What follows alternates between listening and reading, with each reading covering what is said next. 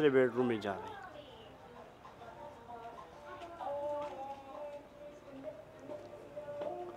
ये दूसरा बेडरूम है